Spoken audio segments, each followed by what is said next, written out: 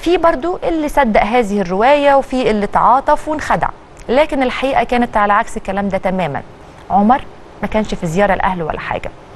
عمر كان في زيارة لتنظيم أنصار بيت المقدس. طبعا زيارة ما هياش بريئة بالمرة. انضم ليهم بتعليمات من والده القيادي الإخواني المقيم في ماليزيا. علشان وفقا لإدعاءاتهم برضو يواجه جيش وشرطة وسلطة الانقلاب زي ما دايما طبعا بيدعوا بيقولوا عمر اللي الإخوان بيقولوا عنه الرياضي وواحد من المشاركين بالعديد من التظاهرات في ماليزيا وكان معاه كتير من شباب الجماعة اللي بيدرسوا هناك في الجامعات الماليزية. إحنا مش ده مش كلامنا ولا بندعي ولا بنتكلم من فراغ لكن كل ده بالصور.